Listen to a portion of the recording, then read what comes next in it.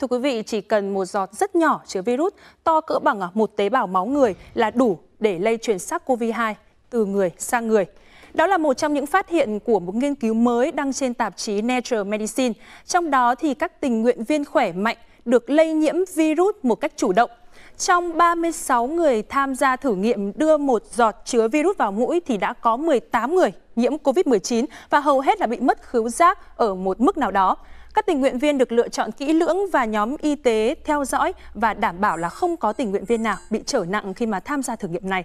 Nghiên cứu được thực hiện từ tháng 3 năm 2021.